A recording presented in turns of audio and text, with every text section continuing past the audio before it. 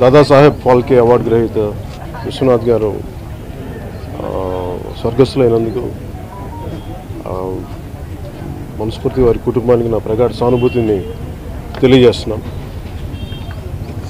నాకు సినిమాలంటే తెలియని సమయంలో నాకు విశ్వనాథ్ గారు అంటే నాకు ప్రత్యేకించి గుర్తు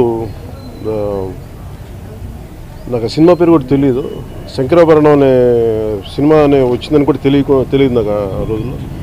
కాకపోతే నాకు పాశ్చాత్య సంగీతం మీద ఉన్న ఇంట్రెస్ట్ ఎక్కువ ఉండేది. ఆ టైంలో మన సంస్కృతి మన కర్ణాటక సంగీతం వీటిలో ఇంత గొప్పగా ఉంటుంది. ఇంత రసభరితంగా ఉంటుందనేది నాకు తెలియజేస్తుంది. ఆ పాటలు వింటాం నాకు తెలియలేదు.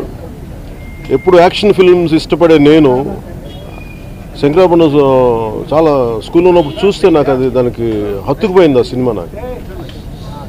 సో ఆయన సినిమా తీసిన విధానం ఆయన కథ చెప్పే విధానం వయసులకి తారద తేడా లేకుండా అందరికీ చాలా గ్రేట్ రీచ్ అవుట్ ఉంటుంది.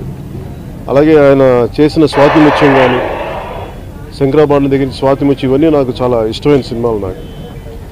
సో అలాంటి మహానుభావులు కాలం చేయడం చాలా బాధాకరం. ప్రకృతి అందరిని ఇళ్ళవాళ్ళు ఉంచదు కాబట్టి మనస్ఫూర్తిగా వారి కుటుంబానికి నా ప్రగాఢ సానుభూతిని తెలియజేసుకుంటాం తెలుగు చిత్ర పరిశ్రమకి ఒక మూలస్తంభమైన వ్యక్తి ఈరోజు ఈ రోజున మన మనతో లేనందుకు మనస్ఫూర్తిగా చాలా బాధగా ఉంది చాలా బాధగా ఉంది.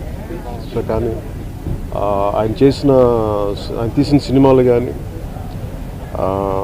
ఆయన ప్ర- మన సంస్కృతి పట్ల అసలు దానికి తేడా తెలియంటే దాని పట్ల అవగాహన లేని వాడికి కూడా అవగాహన కలిగించిన విధానం ఆయన సినిమాల ద్వారా ఆయన కథల ద్వారా చాలా